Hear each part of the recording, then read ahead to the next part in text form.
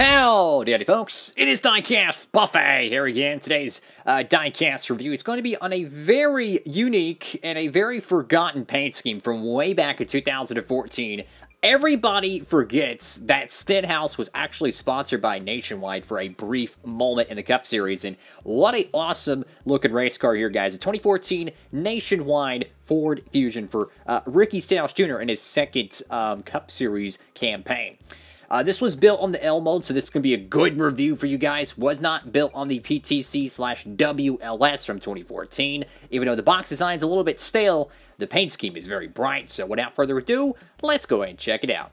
Alrighty, folks, brand new out of the good old box, and first thing that got that just pops at me is the beautiful shade of blue on this diecast, guys. I mean, it's like a perfect sky blue, uh, pretty much like the Claritin blue you would see like on their commercials or whatnot. But uh, what a fabulous looking car! Like this is to me, this is truly a forgotten paint scheme, especially when I seen Dale Jr.'s 2015 car. I love Dale Jr., but this paint scheme looks so much better than that. So anyways, let's go to the nose of this car here. I picked up this car over there at Circle B Diecast, so if you want to get one as well, uh, make sure you use promo code down below, Diecast Buffet, all one word, at Circle B Diecast. Any orders $20 or more, guys, you'll get free shipping.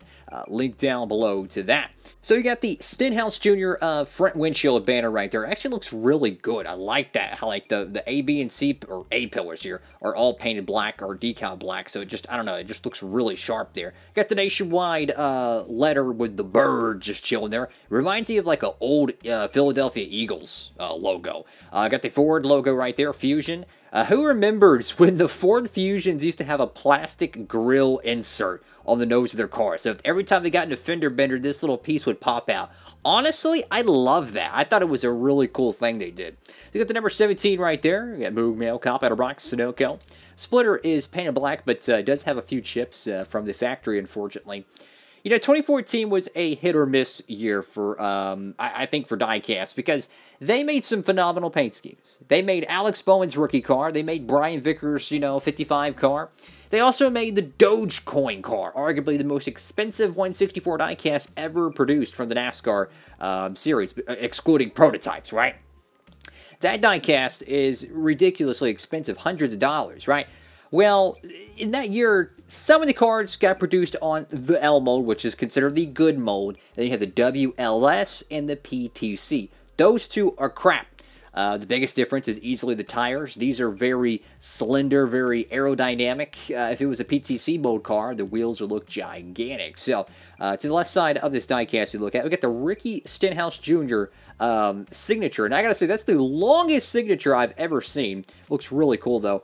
Uh, I got uh, Fifth Third Bank right there. Uh, I got the goofy logo there, Fifth Third. Got Nationwide Insurance, American Ethanol. Got, uh, let's get a little closer look here, guys. Finally, some contingencies on a freaking diecast. Gotta love that, right? We got Mac Tool, Sherwin Williams, Champion. Got the number 17. I still think to this day that um, Roush should bring back the Matt Kenseth font because, truth be told, ever since they went away from the Matt Kenseth font, Roush has done crap. I'm just saying. Got the uh, Roush, uh, not Roush, but the race car logo there. Got Cup Series, uh, Autometer, Jenks, Edelbrock, uh, Freescale, Mechanix Wear, Holley E-Fi, 3M, and K&N. Got a Goodyear decal there. I love this paint scheme, guys. It's a very, very nice sky blue with kind of a um, a, a two-tone, I'd say a panel or maybe a wing. You know, the black with kind of a, uh, a um, what do we call this? A used car gray. That's what it reminds me of. Now, this right here, I don't like. The back end of the car here. I, I, I think this looks pretty tacky. Um, I love the blue. Love the blue. But what is this doing here? It's like, I don't know. It just looks really tacky to me. Who remembers these gigantic bubble taillights? Uh, the Ford Fusions used to have, man. Reminds me of NASCAR uh, 2014, you know, NASCAR 15. That's what it reminds me of. Get nationwide.com on your side. Get the Ford decal there. Uh, get your, I, am guessing those are exhaust ports there. That's pretty cool. Uh, got the uh, Roush Fenway Racing logo with an interesting background to it. Number 17, black spoiler. Let's go to the right side of this diecast, fellas. How y'all doing out there? Make sure to comment down below, fellas. I, I love this diecast. I really do. And the cool thing is they overproduced this car, so it's really cheap to get. And that's where I got it. I got it last year during the uh, Black Friday sale over there at Circle B Diecast, so I'm pretty sure they still had this car in stock. Uh, but really one of the most beautiful nationwide paint schemes I've ever seen, if not maybe the best, because in my honest opinion, the 2015 Dale Jr. car, I never liked it. I'm just going to be honest with you. The 2016 one was so much better, in my opinion. But this one was just like a one and done type of paint scheme. It's just such a good looking car uh, to me. I love it. So you got the number 17 right there on the roof. Still wish this was the Matt Kenseth font. I, I just think that that kind of cursed Roush when they when they dropped the 99. They dropped Matt Kenseth's font. Uh, then they, of course, let the 16 card go. The only thing that's really still there is the number 6, and they've had a thousand different drivers in it. Uh, got the Nationwide Insurance decal there. This, this decal's uh, pretty crooked there, is unfortunately. Uh, but again, the whole paint scheme design is really, really simple. Just a simple uh, sky blue paint job with a kind of a wing, kind of a curvature.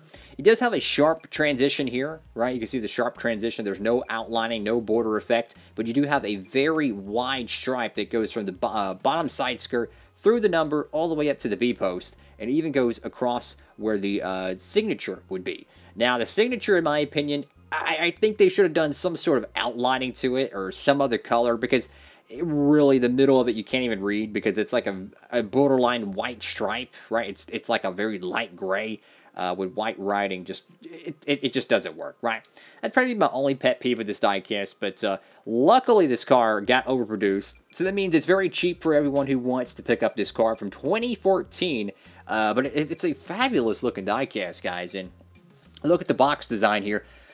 I, I, I look back at 2014, and I gotta be honest with you, 2014 is probably the worst box designs um, ever. It's one of, I mean, look at this. They didn't even put the Roush Fenway green. You have the very bland Ricky Stenhouse Jr. wording there. I mean, like, the wording for that is just very bland to me. Uh, you know, I'll, I'll, take a look at this diecast over here. I love that font they use of the Kyle Larson on it. I know that's a custom car uh, made by LW3, but I love the Kyle Larson font, right?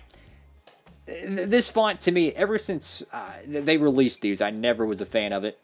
To me, the whole box to me is just very plain. But you look at the diecast here, and beautiful. I love the look of this car, man. Really, really sharp look of diecast.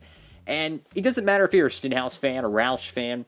This is just one of those paint schemes I think people would love to have in their collection. It just really looks well. Um, like I said, it's overproduced, so it's very affordable. I don't really care for the back end of the car, though. I do think that's a little goofy there. It's a little goofy, but, you know, it is what it is, fellas. What do y'all think about this 2014 Ricky Stenhouse Jr., or Ricky Spinhouse Jr., if you will, uh, Ford Fusion?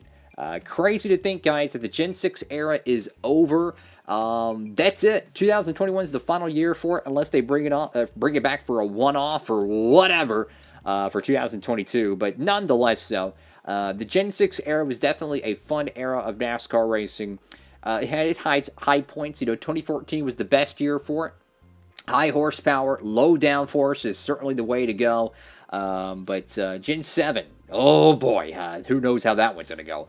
Thank y'all so much for watching the video. Make sure to give it a big thumbs up, like, comment, and subscribe. And for more NASCAR diecast videos, uh, make sure to stay tuned and hit that notification bell. Got plenty of really cool custom diecasts coming up here on the channel.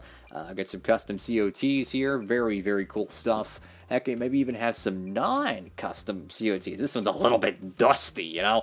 Uh, but it's a beautiful 2010 Tony Stewart diecast, guys. So lots of cool stuff coming up here on the channel.